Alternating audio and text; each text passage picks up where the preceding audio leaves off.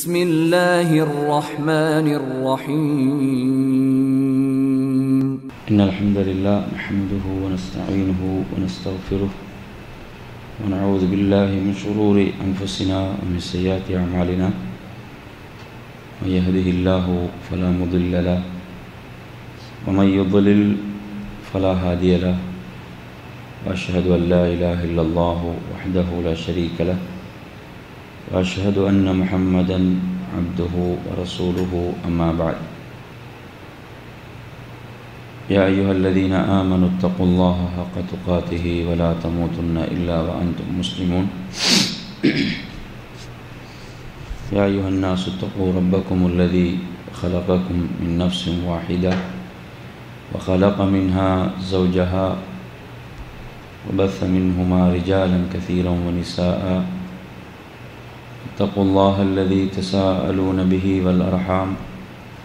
إن الله كان عليكم رقيبا. يا أيها الذين آمنوا اتقوا الله وقولوا قولا سديدا. يصلح لكم أعمالكم ويغفر لكم ذنوبكم. ومن يطع الله ورسوله فقد فاز فوزا عظيما. فإن أصدق الحديث كتاب الله. وخير الهدي هدي محمد صلى الله عليه وسلم وشر الأمور محدثاتها وكل محدثة بدعة وكل بدعة ضلالة وكل ضلالة في النار அன்பிற்குரிய என் அருமை சகோதரர்களே தாய்மார்களே சகோதரிகளே அஸ்ஸலாமு அலைக்கும் வரஹ்மத்துல்லாஹி வபரகாத்துஹு அல்லாஹனுடைய அழகிய திருநாமங்கள் உயரிய பண்புகள் பற்றிய இந்த தொடர் வகுப்பிலே நாம் அல்லாஹனுடைய அழகிய திருநாமங்களை பார்க்கவிருக்கின்றோம்.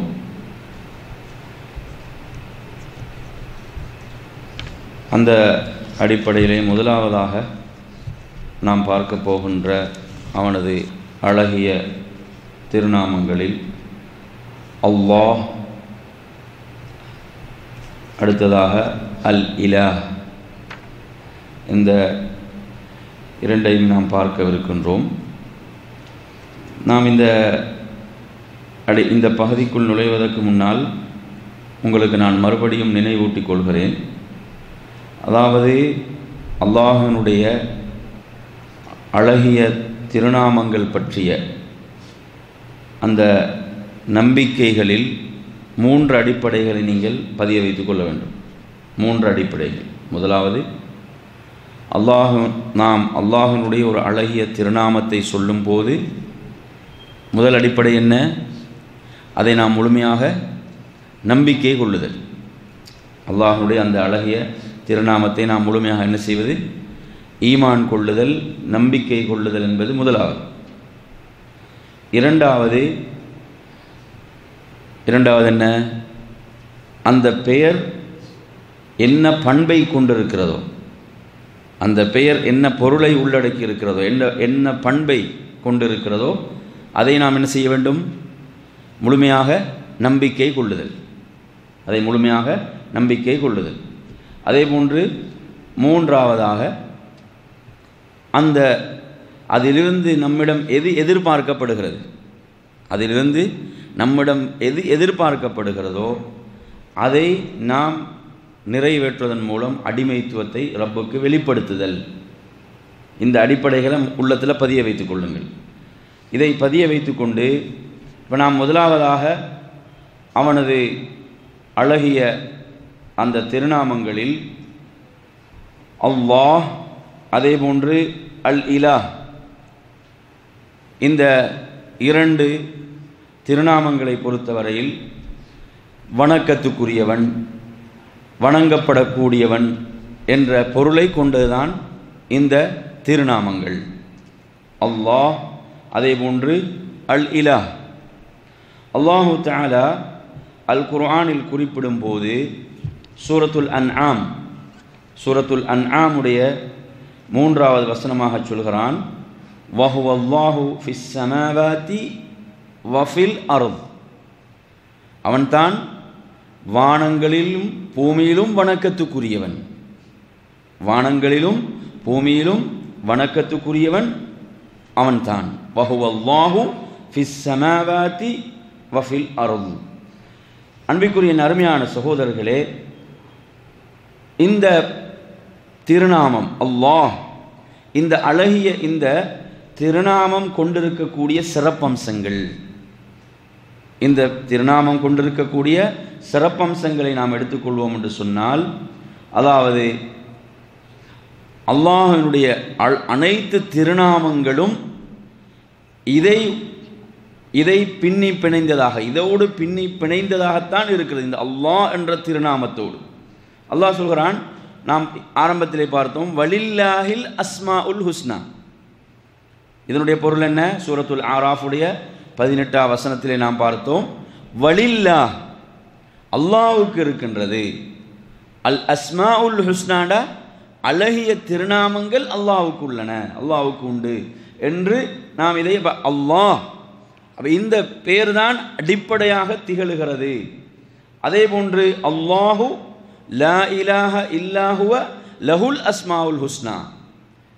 வணக்கத்துக்குரியவன் அல்லாஹுவை தவிர வேறு யாரும் இல்லை என்று சொல்லிவிட்டு அவனுக்கு அழகிய திருநாமங்கள் உள்ளன. சூர தாகாவுடைய எட்டாவது வசனம். என் அருமையான சகோதரர்களே அதே போன்று நாம் இந்த திருநாமத்தினுடைய சிறப்பம்சங்களாக நாம் பார்க்கின்ற போது இப்போ உதாரணமாக அர் ரஹ்மான் அர் ரஹீம் அதே போன்று அல் ஹாலிக் அர் ரஸாக் இவைகளெல்லாம் யாருடைய திருநாமங்கள்?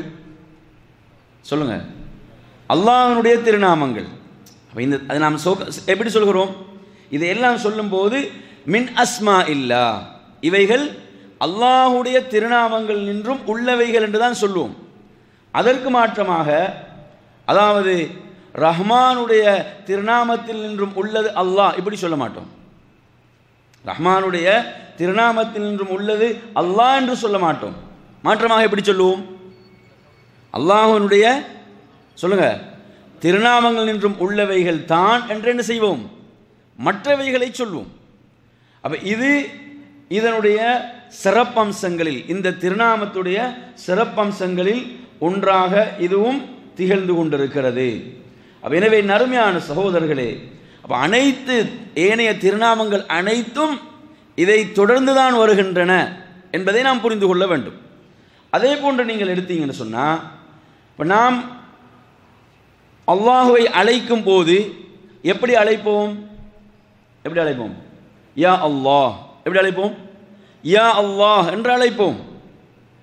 அதே நேரத்தில் நீங்கள் ஏனைய திருநாமங்களை எடுத்தீங்கன்னு சொன்னால் அதில் யா சேரும் போது அலிஃப்லாம் போய்விடும்.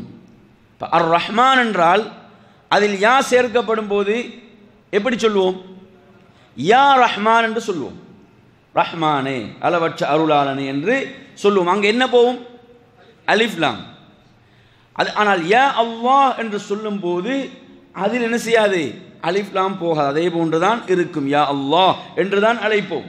அப்போ என் அருமையான சகோதரர்களே இது போன்று இதனுடைய சிறப்பம்சங்களில் நீங்கள் சுபஹானல்லா நாம் எந்த ஒரு திக்ரை எடுத்தாலும் எந்த ஒரு துவாவை எடுத்தாலும் அதிலெல்லாம் எந்த பேர் திருநாமம் அதில் இணைக்கப்பட்டிருக்கிற தக்பீரை நீங்கள் எடுத்தாலும் அல்லாஹு அக்பர். அங்கே என்ன வருகிறது?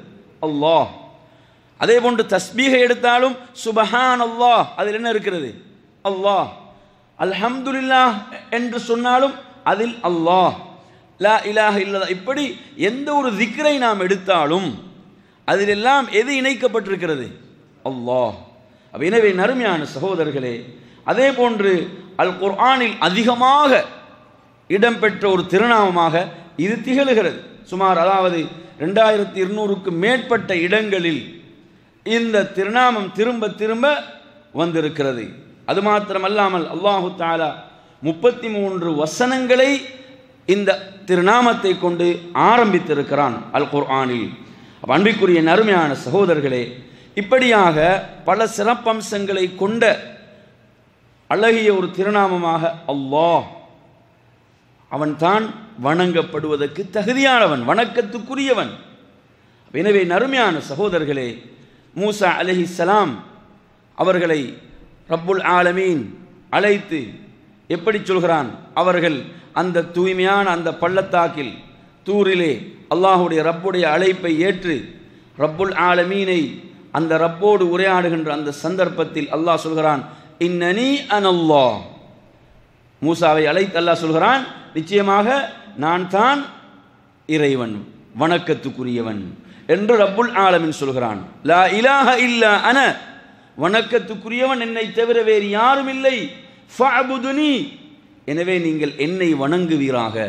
வாகிமிஸ் ஸலாத்த லிذிக்ரி என்னை நினைவு கூறுவதற்காக தொழுகையை நிலைநாட்டுவீராக. சுரத் தாகாவில் நீங்கள் இதை பார்க்கலாம். அப்போ எனவே நறுமையான சகோதரர்களே அதே போன்று இலா என்ற அந்த திருநாமத்தை சொன்னோம். அவன் சொல்கிறான் வ இலாஹுக்கும் இ- இலாஹும் வாஹித். உங்களுடைய அந்த நாயன் ஒரே நாயன் தான் உங்களுடைய நாயன் ஒரே நாயன் தான் உங்களுடைய இலா வணக்கத்துக்குரியவன் ஒருவன் தான் என்று ரப்புல் ஆலமீன் சொல்கிறான். அப்போ எனவே நறுமையான சகோதரர்களே அப்ப இந்த அல்லாஹ் அல் இலா என்ற இந்த திருநாமங்கள் அப்ப இதனூடாக நாம் என்ன செய்கிறோம்? அல்லாவுக்கு வணக்க வழிபாடுகள் அனைத்தையும் அல்லாவுக்கு மாத்திரம் நாம் என்ன செய்ய வேண்டும்? செலுத்த வேண்டும். அந்த அல்லாஹு அவன்தான் வணக்கத்துக்குரியவன். வஹுவல்லதி ஃபிஸ் சமா இலாஹுன் வஃபில் அரபு இலா. சூரத்து ஜுஹ்ருஃப் எண்பத்தி நாலாவது வசனம். அல்லாஹ் சொல்கிறான் அதாவது வானத்தில் உள்ளவர்களுக்கும் பூமியில் உள்ளவர்களுக்கும் அவன்தான் இலஹ் நாயனாக இருக்கிறான் வணக்கத்துக்குரியவனாக இருக்கிறான். அவனைத்தான் வானத்தில் உள்ளவர்களும் வணங்குகிறார்கள் பூமியில் உள்ளவர்களும் அவனைத்தான் வணங்குகிறார்கள். எனவே நறுமையான சகோதரர்களே இந்த வசனங்கள் நமக்கு இதை மிக தெளிவாக சொல்கிறது. அல்லாஹ் தனது தூதரை பார்த்து சொல்கிறான் சூரத்து மரியம். அறுபத்தைந்தா வசனத்திலே சொல்கிறான் அவனையே நீங்கள் வணங்குங்கள் இபாதத்திஹி அவனை வணங்குவதில் நீங்கள் பொறுமையோடு நீங்கள் நிலைத்திருப்பீராக. அதில் பொறுமையை கடைபிடித்து அதில் நிலைத்திருப்பீராக. ஹல் தலமுலகு சமியா. அவனுக்கு நிகராக நீங்கள் யாரையும் அறிவீரா என்று அல்லாஹு தாலா கேட்கிறான். அப்போ எனவே நறுமையான சகோதரர்களே முதலாவதாக நாம் பார்க்கக்கூடிய அந்த திருநாமங்கள் அல்லாஹ் அதே போன்று அல் இலா அல்லாஹ் அடுத்தனது அல் இலா மூன்றாவதாக நாம் பார்ப்பது அர் ரப். அர் ரப் என்ற இந்த திருநாமத்தை நாம் இப்போது பார்க்கின்றோம். அர் ரப் என்பதை பொறுத்தவரையில் இரட்சகன் என்று நாம் சொல்கிறோம். படைத்து பரிபாலிக்கக்கூடியவன். படைத்து பரிபாலிப்பவன். இந்த அதே போன்று இரட்சகன் என்ற அர்த்தத்தை இது உள்ளடக்கியதாக இருக்கிறது. என் அருமையான சகோதரர்களே இதுவும் அவனது மகத்தான திருநாமங்களில் ஒன்றாக இருக்கிறது. அல்ஹம்து லில்லாஹி ரப்பில் ஆலமீன். அல்ஹம்து லில்லாஹி ரப்பில் ஆலமீன். அகிலங்களின் இரட்சகனான அல்லாவுக்கே எல்லா புகழும் என்று அவன் சொல்கிறான். அவன் தான் யாவற்றையும் படைத்து பரிபாலிக்கக்கூடியவனாக இருக்கிறான். அதே போன்று சூரத்துல் அன் ஆம் அதனுடைய நூற்றி அறுபத்தி ரெண்டாம் வசனத்தில் நீங்கள் பார்க்கலாம். குல் நபியை சொல்லுங்கள் இன்ன சலாத்தி நிச்சயமாக என்னுடைய தொழுகை. வனுசுக்கி நான் அறுத்து பலியிடக்கூடியவைகள். ஒமஹ்யாய நான் உயிர் வாழ்வுதல். ஒமமாத்தி எனது மரணம். லில்லாஹி ரப்பில் ஆலமீன் அகிலங்களின் இரட்சகனான அல்லாவுக்காகவே என்று நபியை நீங்கள் சொல்லுங்கள். அப்போ எனவே நறுமையான சகோதரர்களே குரானில் இப்படி நிறைய இந்த வாரத்தின் இந்த திருநாமத்தை நீங்கள் பார்க்கலாம். மூசா அலஹி சலாத்தை அல்லாஹு தாலா அழைத்தும் என்ன சொல்கிறான்? நான் தான் உனது இரட்சகன் உமது இரட்சகன் என்று ரப்புல் ஆலமின் சொல்லக்கூடிய செய்தியை நீங்கள் சூரது தாகாவிலே பார்க்கலாம். அப்போ அன்பிற்குரிய நறுமையான சகோதரர்களே அவன் யாவற்றையும் படைத்து பரிபாலித்து கொண்டிருக்கக்கூடியவனாக அவன் இருக்கிறான். அப்போ அவன்தான் வணக்கத்துக்கு தகுதியானவன். எவன் இந்த அனைத்தையும் படைத்து பரிபாலிக்கிறானோ அவன்தான் வணக்கத்துக்குரியவனாக இருக்கிறான். இந்த படைத்தல் பரிபாலித்தல் நிர்வகித்தல் என்ற இந்த பகுதியை நாம் எடுத்தோம் என்று சொன்னால் இதை நாம் இரண்டாக பிரித்து பார்க்கலாம். இதை இரண்டாக பிரித்து பார்க்கலாம். அதாவது ருபூபியத்துன் ஆம்மா என்று சொல்வார்கள். அல்லாஹ் இந்த உலகத்துள்ள அனைத்தையும் அவன்தான் நிர்வகிக்கிறான். ஒட்டுமொத்த உலகத்தையும் நிர்வகிப்பது யார்? ரப்புல் ஆலமீன். அவனுடைய அந்த நிர்வாகம் என்பது நல்லவர்கள் கெட்டவர்கள் பாவிகள் மூமின்கள் அனைவரையும் உள்ளடக்கியதாக இருக்கிறது. அனைவரையும் என்ன செய்யுது உள்ளடக்கியதாக இருக்கிறது. என் அருமையான சகோதரர்களே அவன்தான் உணவளிக்கக்கூடியவனாக அவன்தான் அதாவது நிர்வகிப்பவனாக அருள் புரியக்கூடியவனாக கொடுக்கக்கூடியவனாக தடுக்கக்கூடியவனாக உயிர்ப்பிக்கக்கூடியவனாக மரணி இந்த அனைத்தையும் செய்யக்கூடியவன் அவன். எனவே இது அனைவருக்கும் பொதுவானது. இது அனைவருக்கும் பொதுவான நிர்வாணம் அதாவது அதாவது அனைவருக்கும் பொதுவான நிர்வாகமாக இது இருக்கிறது. அதே போன்று அடுத்து நீங்கள் எடுத்தீங்கன்னு சொன்னால் அதாவது குறிப்பான ஒரு நிர்வாகம் என்று சொல்லக்கூடிய மற்றும் ஒரு பகுதி என்னவென்று சொன்னால் அதாவது ஈமான் கொண்டவர்கள். மூமீன்கள் அவர்களுக்கு ரப்புல் ஆலமீன் செய்கின்ற அந்த அருள்கள் இருக்கின்றனவே அவனை வணங்குவதற்கும் அவனை பற்றி அறிந்து கொள்வதற்கும் அவன் பக்கம் திரும்புவதற்கும் அதே போன்று அவர்களை இருளிலிருந்து பிரகாசத்தின் பக்கம் வெளியேற்றுவதற்கும் இதெல்லாம் இவைகளெல்லாம் அவனை நம்பிக்கை கொண்டவர்களுக்கு அவன் செய்கின்ற பிரேத்தியமான அருள்கள். இது ஒரு குறிப்பிட்ட நிர்வாகமாக இது அமைகிறது. எனவே நறுமையான சகோதரர்களே இந்த இரண்டையும் நாம் புரிந்து கொள்ள வேண்டும். நபிகள் நாயகம் சல்லல்லா அலிஸ்லாம் அவர்கள் ஒரு முறை சொல்கிறார்கள் அதாவது தாக்க தாமுல் ஈமான். ஈமானுடைய சுவையை உண்மையிலே கண்டு கொண்டவர் யார்? ஈமானுடைய சுவையை அந்த ஈமானுக்கு இருக்கக்கூடிய அந்த சுவையை உண்மையிலே யார் அனுபவிப்பார் என்றால் மண் ரவிய பில்லாஹி ரப்பா. யார் அல்லாஹுவை ரப்பாக பொருந்திக் கொள்வாரோ? அல்லாஹுவை ரப்பாக பொருந்திக் கொள்வாரோ? இந்த உலகத்தில் நீங்கள் எடுத்தீங்கன்னா விரும்பியோ விரும்பாமலோ அனைத்தும் அவனுக்கு கட்டுப்படுகின்றன. இந்த உலகத்தில் உள்ள அனைத்தும் விரும்பியோ விரும்பாமலோ அவன் என்ன நியதியை ஏற்படுத்தினானோ அந்த நியதிக்கு கட்டுப்பட்டே ஆக வேண்டும். அது மறுக்க முடியுமா? மறுக்க முடியாது. இப்போ இங்கே என்ன சொல்கிறாங்க அல்லாவுடைய ரசூல்? யார் அல்லாஹுவை ரப்பாக பொருந்திக் கொள்வார்களோ மனப்பூர்வமாக ஏற்றுக்கொள்வார்களோ ஒபில் இஸ்லாமி தீனன் அவன் வழங்கிய இஸ்லாத்தை தீனாக மார்க்கமாக இவர்கள் பொருந்திக் கொள்வார்களோ அதே போன்று முஹம்மது ஸல்லல்லாஹு அலிஸ்லாம் அவர்களை அல்லாவுடைய ரசூலாக இவர்கள் பொருந்திக் கொள்ளா- கொள்வார்களோ அவர்கள் ஈமானுடைய உண்மையான சூயை கண்டுகொள்வார்கள். இப்போ இந்த மூன்றையும் என்ன செய்ய வேண்டும்? பொருந்தி கொள்ளுதல் என்றால் என்ன? என்ன பொருந்தி கொள்ளுதல் என்றால்? அதாவது ரப்புடைய எல்லா கட்டளைகளுக்கும் முழுமையாக செவி சாய்த்தல் இன்பத்தோடும் ஆசையோடும் ஆர்வத்தோடும். அதாவது நாம் ரப்புக்கு கட்டுப்படுகிறோமா? அவனை தொழுகின்றோமா? அது இன்பமாக இருக்கும். அவனை திக்ரு செய்கிறோமா? அது இன்பமாக இருக்கும். அல் குர்வானை ஓதுகிறோமா? அது இன்பமாக இருக்கும். இப்படி இந்த ஒவ்வொன்றும் எப்படி இருக்கும்? அது இன்பமாக மாறும் போது சுபஹானல்லாஹ் அதுதான் அவனை பொருந்தி கொள்ளுதல். அது சுமையாக இருக்கக்கூடாது. அது சுமையாக இருந்தால் பொருந்தி கொள்ளுதல் என்பது அல்ல. இன்று நம்மில் அதிகமானவர்களுக்கு இந்த பிரச்சனை இருக்கிறது. என்ன பிரச்சனை? இது உண்மையில் நாம் இன்பத்தோடும் ஆசையோடும் ஆர்வத்தோடும் செய்கிறோமா? அல்லது இவைகள்லாம் நமக்கு சுமைகளாக சுமையாக மாறி இருக்கிறதா அப்போ உண்மையில் ஈமானுடைய அந்த சுவையை நீங்கள் கண்டுகொள்வதாக இருந்தால் இந்த மூன்றை நீங்கள் மனப்பூர்வமாக பொருந்தி கொள்ள வேண்டும்.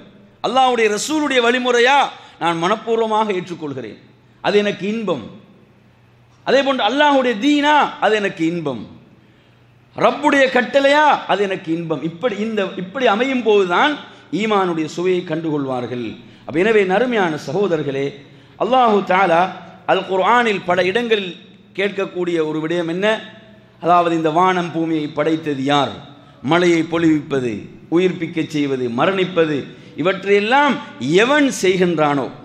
இவற்றையெல்லாம் யார் செய்வதாக நீங்கள் ஏற்றுக்கொள்கிறீர்களோ? என்ன செய்யணும் அப்படிங்க சொல்லுங்க. சொல்லுங்க என்ன செய்யணும்? அவனைத்தான் நீங்கள் வணங்க வேண்டும். இதெல்லாம் அந்த அல்லாஹ் ஒருவன் தான் செய்கிறான் என்று நீங்கள் ஏற்றுக்கொள்கிறீங்களா அவன் தான் இந்த அனைத்தையும் செய்கிறான் என்று நீங்கள் நம்புகின்றீர்களா? அப்படி என்றால் அவன்தான் வணங்கப்படுவதற்கு தகுதியானவன். என்று அல் குர்ஆனில் பல இடங்களில் சொல்வதை பார்க்கிறோம். அதே போன்று நறுமை அருமை சகோதரர்களே அடுத்ததாக நாலாவதாக ஐந்தாவதாக நாம் பார்ப்பது அர் ரஹ்மான் அர் ரஹீம் அர் ரஹ்மான் அர் ரஹீம் இந்த இரண்டையும் நாம் அதாவது நாலாவதாக ஐந்தாவதாக பார்க்கிறோம். அன்பிற்குரிய நறுமையான சகோதரர்களே அதாவது இந்த மகத்தான இந்த இரண்டு திருநாமங்கள் இவைகள் அதாவது குர்ஆனில் பல இடங்களில் நிறைய இடங்களில் இவைகள் இணைத்தே இணைந்தே வருவதை நாம் பார்க்கிறோம். இந்த இரண்டும் இணைந்தே வருவதை பார்க்கிறோம். அல்லாஹு தாலா அல் குர்ஆனுடைய தாஹா அத்தியாயத்தினுடைய ஐந்தாம் வசனத்திலே சொல்லும்போது சொல்கிறான் அர் ரஹ்மானு அலல் அர்ஷிஸ்தவா இங்கு ரஹ்மானு அர் ரஹ்மான் என்பதை மட்டும் சொல்கிறான். அர் ரஹ்மானு அலல் அர்ஷிஸ்தவா ரஹ்மான் அதாவது அரிசி மீது அவனது தகுதிக்கும் அந்தஸ்துக்கும் அவனுடைய கண்ணியத்துக்கும் ஏற்ற அவன் உயர்ந்து நிலை பெற்று விட்டான் என்று இங்கே சொல்லும்போது அர் ரஹ்மான் என்று சொல்கிறான். தன்னை எப்படி அறிமுகப்படுத்துகிறான்? அர் ரஹ்மான் நருமையான சகோதரர்களே அவ்வளோ மகத்தான அந்த ஆட்சிக்கும் கண்ணியத்துக்கும் உரியவன் அவன் யார் என்றால் அர் ரஹ்மான் அவன் யார்? அளவற்ற அருளாளன். அவன் அளவற்ற அருளாளன். நறுமையான சகோதரர்களை உலகத்தில் நீங்கள் பார்க்கலாம். ஒருவனுக்கு ஆட்சி அதிகாரம் அவனுக்கு அதிகரிக்க அதிகரிக்க என்ன செய்யும்? அவனுக்கு மமதையும் ஆணவமும் கர்வமும் கூடி அவன் மக்களுக்கு அநியாயம் செய்வதற்கு முயற்சிப்பான். ஆனால் ரப்புல் ஆலமீன் தன்னை சொல்லும்போது எப்படி சொல்கிறான் என்றால் அர் ரஹ்மான் என்று அவன் சொல்கிறான். அதே போன்று இப்ராஹிம் அலஹி இஸ்லாம் அவர்கள் தனது தந்தைக்கு செய்கின்ற தவாவின் போது சூரத்து மரியம் நாற்பத்தைந்தா வசனத்தை படித்து பாருங்கள். இன்னி அகாஃபு ஐ அதாபும் மினர் ரஹ்மான். எவ்வளோ அழகான வார்த்தையை பயன்படுத்துகிறாங்க இன்னி அகாஃபு நான் பயப்படுகிறேன். ஐ அதாபும் மினர் ரஹ்மான். ரஹ்மானுடைய தண்டனை உங்களை பிடித்து கொள்ளும் என்று. ரஹ்மானுடைய தண்டனை. சுபஹானல்லாஹ். அவன் அளவற்ற அருளாளன். அவனுடைய தண்டனைக்கு நீங்கள் தகுதியானவராக மாறுவீர்கள் என்று நான் பயப்படுகிறேன். இவ்வளவு உங்களுக்கு அவன் தெளிவுபடுத்தி சொல்லித் தந்ததன் பிறகும் சுபஹானல்லா நறுமை சகோதரர்களே இவ்வளோ அழகாக சொல்கிறாங்க பாருங்க. ரஹ்மானுடைய தண்டனைக்கு நீங்கள் தகுதியானவர்கள் அந்த தண்டனை உங்களை பிடித்துக் கொள்ளும் என்று நான் அஞ்சுகிறேன். எனவே நறுமையான சகோ அதே போன்று நீங்கள் அர் ரஹ்மான் ஒரு அத்தியாயத்தையே பார்க்கலாம். அர் ரஹ்மான் அல்லமல் குர்ஆன். அர் ரஹ்மான் அவன் தன்னை அளவற்ற அருளாளன் என்று அறிமுகப்படுத்துகிறான். எனவே நறுமையான சகோதரர்களே இந்த பெயர்கள் அர் ரஹ்மான் அர் ரஹீம் அல் குர்ஆனிலே அதிகமாக இணைத்து பேசப்படுவதையும் அதே போன்று அல் அசீஸ் அர் ரஹீம் அல் குர்ஆனிலே இணைத்து வருவது அதே போன்று அல் கஃபூர் அர் ரஹீம் அதே போன்று அல் பர்ருர் ரஹீம் அத் தவ்வாபுர் ரஹீம் இப்படியெல்லாம் இணைந்து வருவதை நீங்கள் பார்க்கலாம். என் அருமையான சகோதரர்களே அதாவது சுலைமான் அலைஹிஸ்ஸலாம் அவர்கள் அவர்கள் கடிதத்தை எப்படி ஆரம்பித்தார்கள்? எழுதும்போது பிஸ்மில்லாஹிர் ரஹ்மானிர் ரஹீம் என்று ஆரம்பித்தார்கள். ஜிப்ரீல் அலைஹிஸ்ஸலாம் அவர்கள் ஒரு சூறாவை ஒரு அத்தியாயத்தை கொண்டு வரும் அதில் முதலாவது எதை எதையும் சேர்த்து கொண்டு வருவார்கள்? எதோடு இறங்குவார்கள்? பிஸ்மில்லாஹி ரஹ்மான் ரஹீம். அப்போ எனவே நறுமையான சகோதரர்களே இப்படியாக இந்த பெயர்கள் இணைந்து வருவதையும் அதே போன்று அர் ரஹ்மான் என்பது பொருளில் விசாலத்தன்மையை கொண்டதாக அர் ரஹீம் என்பதை பார்க்கின்ற போது அல்லாஹ் அதை சில பொழுதுகள் எப்படி பேசுகிறான் என்றால் இணைத்து சொல்கிறான். சூரத்துல் அஹாப் நீங்க பாருங்க. முப்பத்தி மூன்றாவது அத்தியாயம். நாற்பத்தி மூன்றாம் வசனத்தில் வக்கான பில் முக்மினீன ரஹீமா. வக்கான பில் முக்மினீன ரஹீமா. அவன் மூமின்களோடு கருணையாளனாக அவன் இருக்கிறான் என்று சொல்கிறான். அப்போ எனவே நறுமையான சகோதரர்களே இங்கே மூமின்களோடு அவன் ரஹீமாக இருப்பதாக சொல்கிறான். அப்போ இது எதை சொல்கிறது என்று சொன்னால் மறுமையிலே அந்த மூமின்களுக்குரிய அந்த அருளை ரஹ்மத்தை சொல்லக்கூடியதாக இருக்கிறது. அது மாத்திரம் அல்லாமல் ரப்புல் ஆலமீன் சொல்கிறான் அதாவது என்னுடைய ரஹ்மத் என்னுடைய கோபத்தை முந்தி விட்டதாக அவன் குறிப்பிடுகிறான். என் அருமை சகோதரர்களே நபிகள் நாயகம் சல்லல்லாஹு அலைவசலம் அவர்கள் குறிப்பிடுகிறார்கள் அல்லாஹ்விடத்திலே எத்தனை ரஹ்மத்துகள் உள்ளன? எத்தனை ரஹ்மத்துகள்? சொல்லுங்கள் அதாவது மியத்து ரஹ்மா எத்தனை ரஹ்மத்துகள்? அவனிடம் நூறு ரஹமத்துகள் சுபஹானல்லாஹ். அவனிடம் நூறு அருள்கள் நூறு ரஹமத்துகள் அவனிடம் உள்ளன என்று நபிகள் நாயகம் ஸல்லல்லாஹு அலிஸ்லாம் அவர்கள் சொல்லிவிட்டு சொல்கிறார்கள். அதில் ஒன்றைத்தான் அவன் இந்த உலகத்திலே அவன் பங்கு வைத்திருக்கிறான். இந்த உலகத்தில் ஒன்றைத்தான் பங்கு வைத்திருக்கிறான். இந்த உலகத்தில் அனைவரும் அன்பு செலுத்துவது அந்த ஒன்றின் மூலம்தான். கால்நடைகளாக இருக்கலாம் ஏனைய ஜீவராசிகளாக இருக்கலாம் அனைவரும் அன்பு செலுத்திக் கொள்வது அந்த ஒன்றின் மூலமாக. எனவே நறுமையான சகோதரர்களே அதாவது ஏனைய ஜீவராசிகள் கூட தனது குட்டிகளை எப்படி பாதுகாக்கிறது என்று பாதுகாக்கிறது என்று சொன்னால் இது அல்லாஹுடைய ரஹ்மத். அவன் பங்கு வைத்த அந்த ஒரு ரஹ்மத்தின் மூலம் நிகழ்கிறது. அவன் தொண்ணூற்றி ஒன்பதை தன்னோடு வைத்துக் கொண்டான். சுபஹானல்லாஹ். தொண்ணூற்றி ஒன்பதை தன்னோடு வைத்துக் கொண்டான். எதற்காக? யர்ஹமு பிஹா இபாதஹு யோமல் கியாமா. மறுமையில் தனது அடியார்களுக்கு அருள் புரிவதற்காக. சுபஹானல்லாஹ். தொண்ணூற்றி ஒன்பது அப்போ இந்த உலகத்தில் ஒருத்தன் நஷ்டப்பட்டான்னு சொன்னால் அது மிகப்பெரிய நஷ்டம். இந்த உலகத்தில் அந்த ரஹ்மானுடைய சுபஹானல்லா அந்த தொண்ணூற்றி ஒன்பது அவன் தனது அடியார்களுக்காக மறுமையிலே பாதுகாத்து வைத்திருக்கிறான் என்றால் நினச்சி பாருங்க. அப்போ நாம் அதற்குத்தானே போட்டி போட வேண்டும். சுபஹான் அல்லாஹ் ஒன்றுதான் உலகத்திலே பங்கு வைக்கப்பட்டிருக்கிறது. தொண்ணூற்றி ஒன்பதை அவன் தன்னோடு வைத்திருக்கிறான். மறுமையில் தனது அடியார்களுக்காக. எனவே நறுமையான சகோதரர்களே இந்த ஹதீதை நீங்கள் புகாரி முஸ்லீம் போன்ற கிரந்தங்களிலே பார்க்கலாம். அதே போன்று அல்லாஹு தாலா சொல்லும் போது வரஹ்மதி வஸ் அத்குல்லஷை என்னுடைய ரஹ்மத் அனைத்தை விடவும் விசாலமானதாக இருக்கிறது. ஃபஸ் அக்து புகால் இல்லதீன யத்தகூன். யாருக்கு? அது என்று சொன்னால் தக்குவாவுடையவர்கள் ஜக்காத்தை கொடுத்து வரக்கூடியவர்கள் எமது ஆயாத்துகளை வசனங்களை நம்பிக்கை கொள்ளக்கூடியவர்களுக்கு என்று ரப்புல் ஆலமீன் சூரத்து ஆராஃபுடைய நூற்றி ஐம்பத்தாறா வசனத்திலே சொல்கிறான்.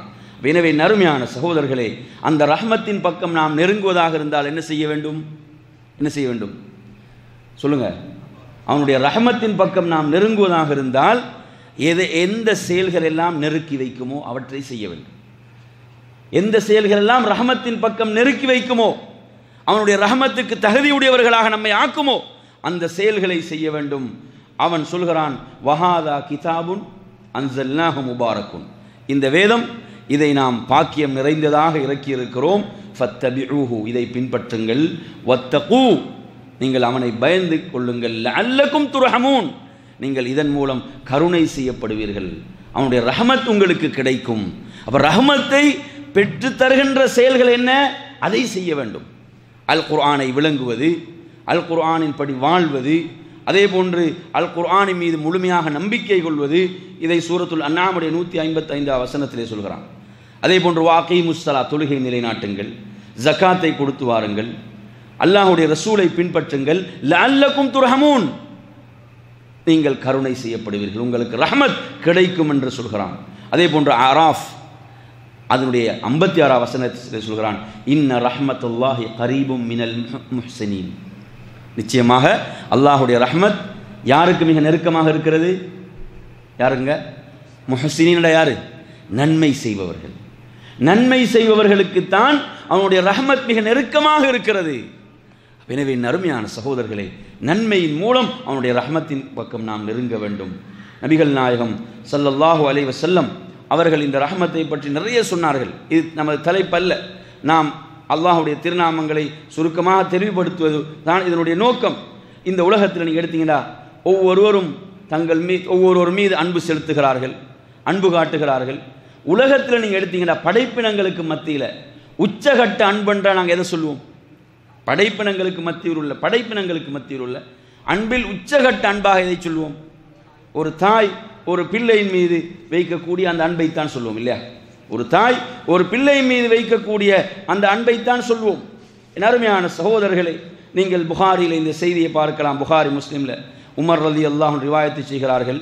நபிகள் நாயகம் சல்லல்லாஹு அலிஸ்லம் அவர்களிடத்தில் வந்து அந்த ஹவாசின் என்ற கோத்திரத்தைச் சேர்ந்த அந்த அந்த குலத்தைச் சேர்ந்த சில கைதிகள் அல்லாஹுடைய ரசூலிடம் வருகிறார்கள். அல்லாஹுடைய ரசூலிடம் வந்தார்கள். அப்படி வந்த சந்தர்ப்பத்திலே அவர்களிடத்திலே இருந்த ஒரு பெண் அந்த பெண்ணுடைய மார்பில் பால் சுரந்து கொண்டிருக்கிறது. அதை கொடுப்பதற்கு ஒரு கை குழந்தைகளை தேடி அந்த பெண் அலைந்து கொண்டிருக்கிறாள். அப்படி குழந்தைகள் அந்த குழந்தைகளை இருக தன்னோடு அணைத்து கொள்கிறாள். நறுமை சகோதரர்களே தன்னுடைய குழந்தை கிடைத்தவுடன் அப்படி தன்னோடு அவள் இருக அணைத்து கொள்கிறாள். இந்த காட்சியை ரசூலுல்லாஹி சல்லா அலிஸ்லாம் அவர்கள் பார்க்கிறார்கள். இந்த நெகிழ்வுறக்கூடிய காட்சி அனைவரும் பார்க்கிறார்கள். அல்லாஹுடைய தூதர் அந்த சந்தர்ப்பத்தில் கேட்ட வார்த்தை என்னவென்று சொன்னால் இவ்வளோ அன்போடும் இரக்கத்தோடும் பாசத்தோடும் கட்டி அணைத்துக் கொள்கிறாளே தனது பிள்ளையை இவள் தனது பிள்ளையை நரகத்திலே நெருப்பிலே எரிவாளா? நெருப்பிலே எரிவாளா என்று சொல்லி அல்லாஹுடைய ரசூல் கேட்கிறார்கள். நபித்தோழர்கள் சொல்கிறார்கள் யார சொல்லலாம் ஒருபோதும் அவள் எரிய மாட்டாள். தனது பிள்ளை இவ்வளோ அன்போடு அவள் அரவணைத்துக் கொள்கிறாள். இவள் எப்படி நெருப்பில் எரிய முடியும்? அல்லாஹுடைய ரசூல் சல்லாஹு அலையம் அவர்கள் சொல்கிறார்கள் அதாவது இந்த தாய் இந்த பிள்ளையின் மீது வைத்திருக்கக்கூடிய அன்பை விட அல்லாஹ் தனது அடியார்கள் மீது அன்பு வைத்திருக்கிறான். சுபஹான் அல்லாஹ் அல்லாஹ் அடியார்கள் மீது அன்பு வைத்திருக்கிறான். என் அருமையான சகோதரர்களே சுபஹான் அல்லாஹ் நினச்சி பாருங்க. மறுமையுடைய நாளில் மறுமையுடைய நாளில் நம்மை யார் விசாரிக்க வேண்டும்? உங்களை யார் விசாரிக்க வேண்டும் என்ற ஒரு தேர்வு உங்களுக்கு கொடுக்கப்பட்டால் நிச்சயமாக நாம் ஒவ்வொருவரும் அல்லாதான் எம்மை விசாரிக்க வேண்டும் என்று சொல்லுவோம் ஏன்? கதப ரப்புக்கும் அல அனப்சிஹிர் ரஹ்மா. அவன் ரஹ்மத்தை தன் மீது கடமையாக்கி கொண்டவன். நாம் நம்மீது வைத்திருக்கக்கூடிய அன்பை விட நாம் ஒவ்வொருவரும் நம்மீது வைத்திருக்கக்கூடிய அன்பை விட ரப்புல் ஆலமீன் நம்மீது அன்பு வைத்திருக்கிறான். எனவே நறுமையான சகோதரர்களே அந்த ரஹ்மானுக்கு நாம் மாறு செய்யலாமா? அந்த ரஹ்மானுக்கு மாறு செய்யலாமா? அவ எனவே அவன் அளவற்ற அருளாளனாக நிகரற்ற அன்புடையவனாக அவன் இருக்கிறான். அதே போன்று எனருமை சகோதரர்களே அடுத்ததாக ஆறாவதும் ஏழாவதாக அல் ஹை அல் கையூம் அல் ஹையுல் கையூம் என்ற இந்த திருநாமங்களை பார்ப்போம். இது அல் குர்ஆனில் நீங்கள் மூன்று இடங்களில் இணைத்து பேசப்படுவதை பார்க்கலாம். குர்ஆனில் மூன்று இடங்களில் இது இந்த இரண்டும் இணைந்து வருகிறது இந்த இரண்டு திருநாமங்கள். அதிலே முதலாவது நீங்கள் ஆயத்துல் குருசியில் அந்த சூரத்துல் பக்கராவுடைய இருநூற்றி ஐம்பத்தைந்து வசனத்தில் நீங்கள் பார்க்கலாம். ஆயத்துல் குருசி எப்படி ஆரம்பிக்குது? அல்லாஹு லா இலாஹ இல்லாஹுவல் ஹையுல் கையூம். அல்லாஹு லா இலாஹ இல்லாஹு வணக்கத்துக்குரியவன் அவனை அல்லாஹுவை தவிர வேறு யாரும் இல்லை. அல் ஹையுல் கையூம் அவன் நித்திய ஜீவனாக. என்றென்றும் நிலைத்திருப்பவனாக அவன் இருக்கிறான். அல் ஹையுல் என்றென்றும் அவன் உயிரோடு இருக்கிறான். அதே போன்று அல் கையும் அவன் என்றென்றும் நிலைத்திருப்பவன். அதே மாதிரி ஆல இம்ரானில் நீங்கள் எடுத்தீங்கன்னா ஆல இம்ரானில் அந்த ஆரம்ப வசனங்களில் முதல் முதலாவது இரண்டாவது வசனங்களில் அலிஃப் லாம் மீம் அல்லாஹு லா இலாஹ இல்லாஹுவல் ஹையுல் கையூம் என்று நீங்கள் பார்க்கலாம்.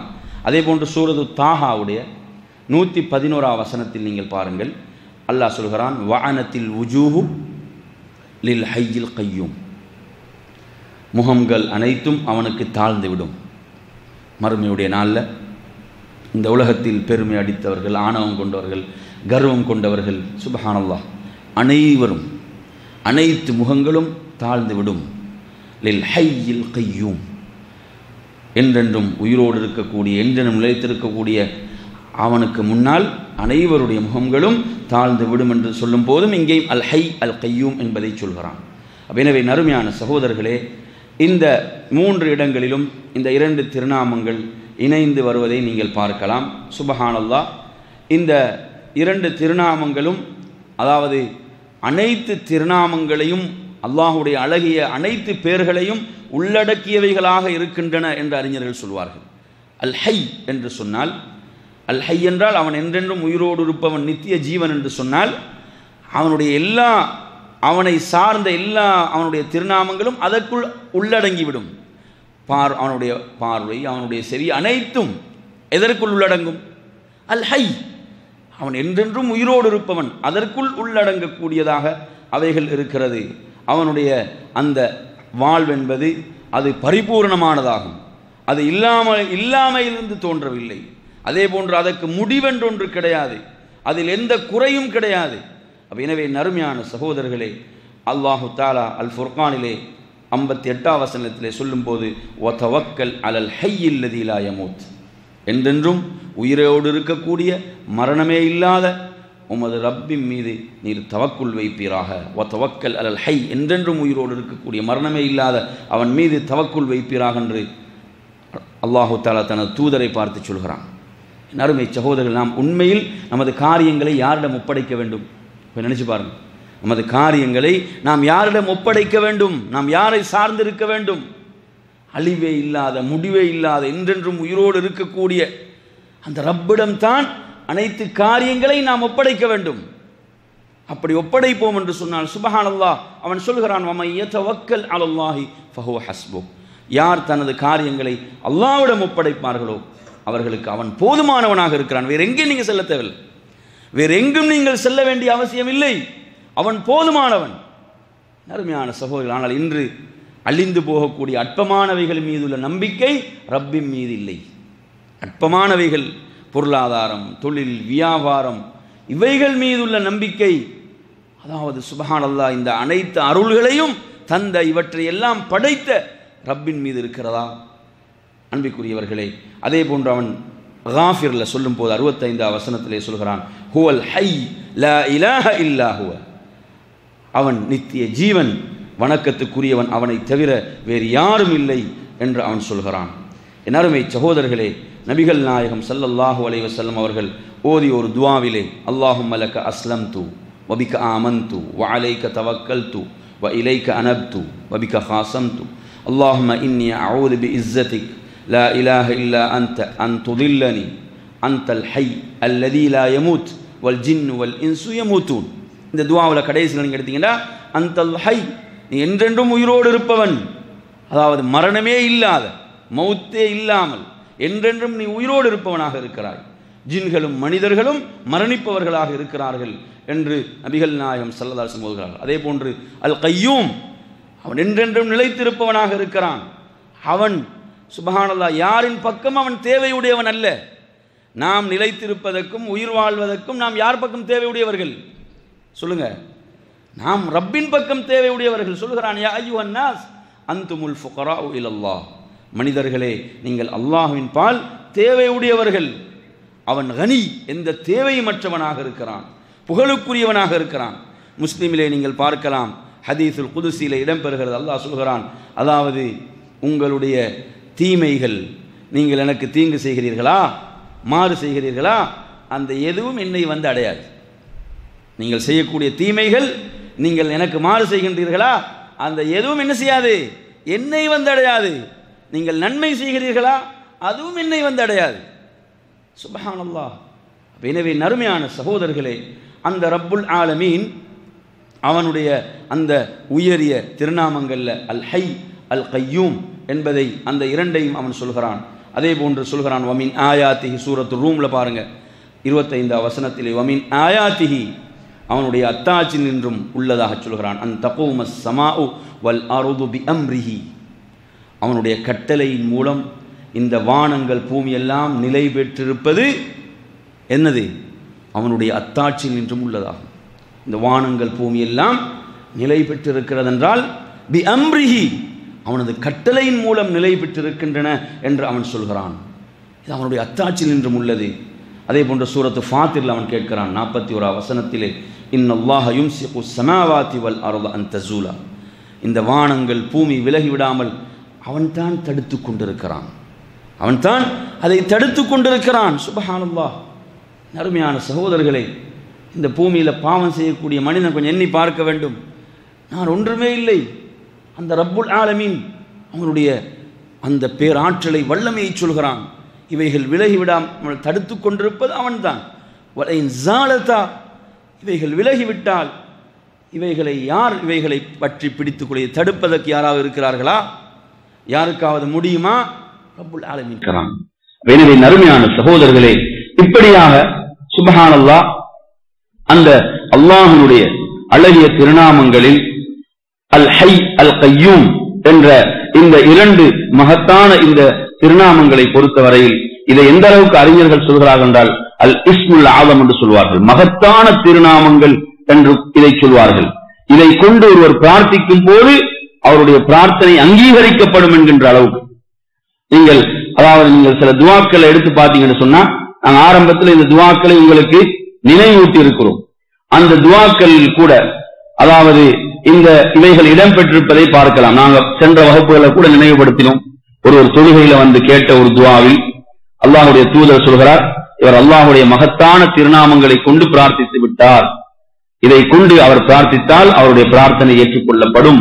என்று வரக்கூடிய அதில் கூட யா ஹையு யா கையூம் என்ற அந்த வார்த்தைகள் வருவதை நீங்கள் பார்க்கலாம். அந்த திருநாமங்கள் இடம்பெற்றிருப்பதை பார்க்கலாம். அதே போன்று நபிகள் நாயகம் ஸல்லல்லாஹு அலையம் அவர்கள் தனது அருமை மகள் ஃபாத்திமா ரலியல்லாஹு அன்ஹா அவர்களுக்கும் என்ன செய்தார்கள் என்று சொன்னால் இதை கற்றுக் கொடுத்தார்கள் யா ஹையு யா கையூம் برحمتك استغيث اصلح لي شأني كله ولا تكلني الى نفسي طرفة عين இதை காலையிலும் மாலையிலும் சொல்வதற்கு கற்றுக் கொடுத்தார்கள் யா ஹையு யா கையூம் برحمتك استغيث اصلح لي شأني كله ولا تكلني الى نفسي طرفة عين அதே போன்று அனஸ் ரலியல்லாஹு அவர்களுக்கு ரசூலுல்லாஹி ஸல்லல்லாஹு அலைஹி அவர்கள் அனஸ் சொல்கிறார்கள் நபி அவர்கள் ஒரு துன்பத்தின் போது சொல்வார்கள் யா ஹையு யா கையூம் என்று சொல்வார்கள். இந்த செய்திகள் திருமீதியிலே இடம்பெற்றிருக்கக்கூடிய செய்திகளாக இந்த செய்திகள் இருக்கின்றன. எனவே நறுமையான சகோதரர்களே அதே போன்று அல் இஸ்முல்லாஹில் ஆலம் ஆலம் அல்லாஹுடைய மகத்தான திருநாமங்களாக இந்த இரண்டு வசனங்களை அடையாளப்படுத்துகிறார்கள். அதாவது அல் இஸ்லாமி அல்லாஹு இலாஹ இல்லாஹு அல் கையூம் என்பதை அதே போன்று இலாஹுக்கும் இலாஹும் வாஹிதும் லா இலாஹ இல்லாஹு ரஹ்மான் ரஹீம் என்ற சூரத்துல் பக்ராவுடைய நூத்தி அறுபத்தி மூன்றாவது வசனத்தையும் ஆல இம்ரானுடைய முதல் இரண்டு வசனங்களையும் அல்லாஹனுடைய அதாவது மகத்தான திருநாமங்களாக இப்ப நாம் பிரார்த்திக்கின்ற போது துவாக்களின் போது நாம் இவற்றை சேர்த்துக் கொள்வது என்பது நம்ம துவாக்கள் ரப்பிடத்திலே அங்கீகரிக்கப்படுவதற்கு அது மிகப்பெரிய காரணியாக அமையும் என்பதை நாம் புரிந்து கொள்ள வேண்டும். அதே போன்ற நறுமையான சகோதரர்களே எட்டாவதாக ஒன்பதாவதாக நாம் பார்ப்பது அல் ஹாலிப் அதே போன்று அல் ஹல்லாக் இந்த அதாவது படைத்தவன் அல் ஹல்லாக் என்று சொன்னால் அனைத்தையும் எல்லாவற்றையும் படைத்தவன் என்ற அர்த்தத்தை கொடுக்கக்கூடிய அந்த வார்த்தையாக இது அமைந்திருக்கிறது. என் சகோதரர்களே அவன் அல் குர்ஆனிலே சொல்கின்ற போது எப்படி சொல்கிறான் என்று சொன்னால் அலீம் என்று சொல்கிறான். சூரத்துல ஹிஜருடைய எண்பத்தி ஆறாம் வசனத்திலே அவன் சொல்கின்ற போது இப்படியாக இரண்டு இடங்களில் இந்த இந்த வார்த்தை பிரயோகத்தை இந்த திருநாமத்தை நீங்கள் பார்க்கலாம். நிச்சயமாக உமதரப் அவன் அனைத்தையும் எல்லாவற்றையும் படைத்தவனாக அவன் ஞானம் மிக்கவனாக அவன் இருக்கிறான். அதே போன்று சூரது யாசினை நீங்கள் பார்க்கலாம். எண்பத்தி ஓரா வசனத்திலே பலா வஹுவல் ஹல்லாக்குல் அலீம் என்று சொல்கிறான். அவன் அனைத்தையும் படைத்தவனாக ஞானமிக்கவனாக அவன் இருக்கிறான் என்பதை அவன் குறிப்பிடுகிறான். என் அருமையான சகோதரர்களே அந்த ரப்பை பொறுத்தவரையில் அவன் எந்த முன்மாதிரி இன்றி அவன் படைத்தவன். உலகத்தில் உள்ள அனைத்தையும் எந்த ஒரு முன்னுதாரணம் இன்றி அந்த ரப்புல் ஆலமீன் படைத்தவன் அந்த ரப்புல் ஆலமீன். அதே போன்று அவன் படைத்ததை மாத்திரம் சொல்லவில்லை சூரத்துல் கமர். நாற்பத்தி ஒன்பது வசனத்திலே சொல்கிறான் என்று சொல்கிறான். நாம் ஒவ்வொன்றையும் அளவோடு என்ன செய்கிறோம்? நாம் படைத்திருக்கிறோம். ஒவ்வொன்றையும் அந்த ரப்புல் ஆலமின் அதற்கென்று வரையறைகளை அவன் நிர்ணயித்திருக்கிறான் வகுத்திருக்கிறான். அந்த ரப்புல் ஆலமின் சொல்கிறான் அனைத்தையும் அவனுடைய ஹிக்மத்தின் மூலம் அவனுடைய விவேகத்தின் மூலம் அவன் குறிப்பிட்ட அளவோடு ஒவ்வொன்றையும் படைத்திருக்கிற படைத்திருப்பதாக சொல்கிறான். அதே போன்று அல்லது வல்லதி கத்தர ஃபஹதா. சூரத்துல ஆலாவுடைய அந்த இரண்டு மூன்று ஆகிய அந்த வசனங்களை நீங்கள் பார்க்கலாம். அவன்தான் படைத்தான் செவ்வையாக்கினான். அதே போன்று அவன் என்ன செய்தான்? வல்லதி கத்தர அவன் அனைத்தையும் நிர்ணயித்து அவன் வழிகாட்டினான். அவர்கள் அதிலே எப்படி செயல்பட வேண்டும்? இந்த உலகத்தினுடைய ஒவ்வொன்றும் அதனுடைய செயல்பாடுகள் அனைத்துக்குரிய வழிகாட்டலையும் அவன் வழங்கினான். அப்ப எனவே நறுமையான சகோதரர்களே சூரத்துல் அன்பியாவுடைய நூத்தி நாலாவசனத்திலே சொல்லும் போது கமா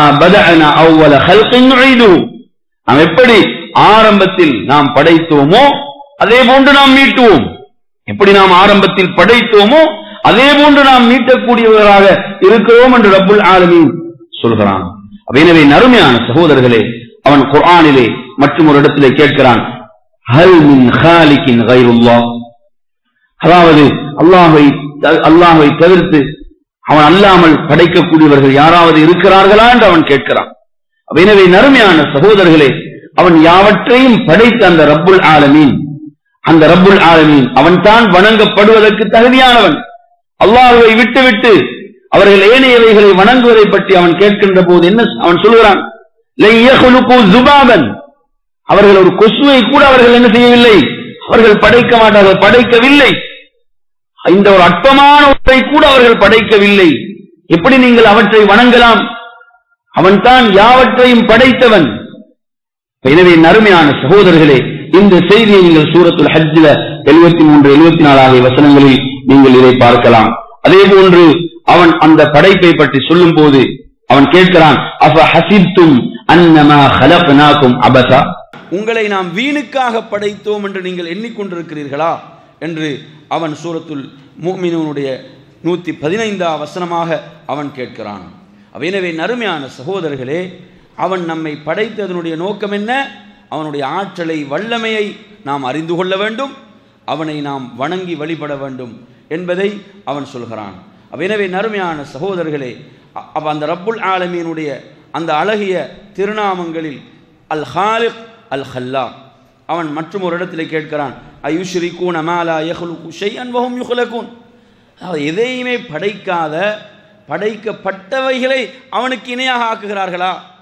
அவன் யாவற்றையும் படைத்தவன் எதை கொண்டு வந்து இணையாக நிறுத்துகிறார்கள்? அவன் படைத்தவைகளை கொண்டு வந்து அவனுக்கு இணையாக நிறுத்துகிறார்கள் என்று ரப்புல் ஆலமீன் கேட்கிறான். அப்ப எனவே நறுமையான சகோதரர்களே அவ இந்த அழகிய இந்த திருநாமங்கள் இதுவரை நாம் எத்தனை பார்த்திருக்கிறோம்? அதாவது ஒன்பதை நாம் பார்த்திருக்கிறோம். இன்ஷால்லா நாங்கள் வரக்கூடிய வகுப்புகளை கொஞ்சம் வேகமாக என்ன செய்வோம்? இவைகளை முடிப்பதற்கு இந்த ஆரம்பத்தில் உள்ளதை கொஞ்சம் விரிவாக விளங்கப்படுத்தினோம் வரக்கூடிய வகுப்பில் இன்ஷால்லா என்ன செய்வோம் என்று சொன்னால் கொஞ்சம் அவசரமாக இவைகளை பார்த்து அதாவது ரெண்டு மூன்று வகுப்புகள் நாங்கள் என்ன செய்யணும்? அவைகளை முடித்து கொள்ள வேண்டும் என்ற அடிப்படையில் ஏனையவைகளை சில வரக்கூடிய வகுப்பில் எஞ்சியவைகளை பார்ப்போம் என்று கூறி நிறைவு செய்கின்றேன். வாஹிர் தவானான் அலமதுல்லாஹி ரப்பில் ஆலமீன் வஸ்ஸலாம் அலைக்கும் வரமத்துல்லாஹி வபரகாத்துகும்